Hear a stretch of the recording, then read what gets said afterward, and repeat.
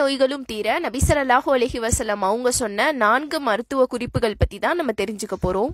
நபிகள் நாயகம் ஸல்லல்லாஹு அலைஹி வசலம் அவங்க எப்படி நம்முடைய மறுமை வாழ்க்கையை அழகாக்குறதுக்கு நிறைய விஷயங்களை சொல்லி கொடுத்துருக்காங்களோ அதே மாதிரியே இம்மையில நம்ம ஆரோக்கியமாக வாழணும் அப்படின்றதுக்காக ஒரு சில உணவுகளை சுட்டி காமிச்சு அதுல இருக்கக்கூடிய மருத்துவ பயன்களையும் நமக்கு தெரிவிச்சிருக்கிறாங்க. இந்த உணவு பழக்கங்களை பின்பற்றுவதன் மூலமாக நமக்கு இரண்டு நன்மைகள் இருக்கு.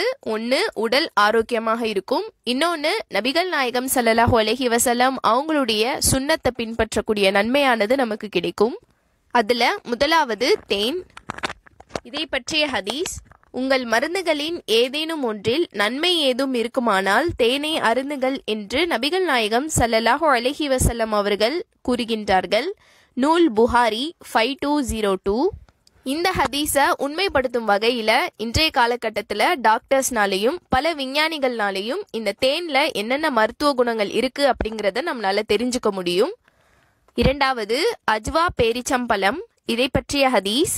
தினமும் காலையில் வெறும் வயிற்றில் ஏழு அஜுவா ரக பேரிச்சம்பழங்களை சாப்பிடுபவர்களுக்கு அந்த நாள் எந்த விஷயமும் இடமளிக்காது என்று நபிகள் நாயகம் ஸல்லல்லாஹு அலஹி வசலம் அவர்கள் கூறினார்கள்.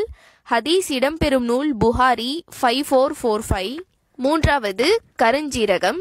இதை பற்றி நபிகள் நாயகம் ஸல்லல்லாஹு அலஹி வசலம் அவர்கள் கருஞ்சீரகம் எல்லா நோய்களுக்கும் நிவாரணமாகும் சாமை தவிர என்று கூறியதை கேட்டுக்கொண்டிருந்த நபித்தோழர்கள் சாம் என்றால் என்ன? என்று கேட்டார்கள்.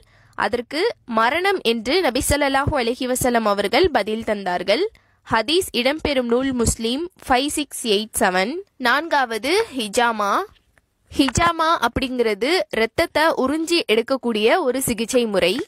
இதை பற்றிய ஹதீஸ் குருதி உறிஞ்சி எடுப்பது அதாவது ஹிஜாமா செய்து கொள்வது மரணத்தை தவிர எல்லா நோய்களுக்கும் நிவாரணம் உண்டு என்பதாக நபிகள் நாயகம் ஸல்லல்லாஹு அலஹி வசலம் அவர்கள் கூறுகின்றார்கள்.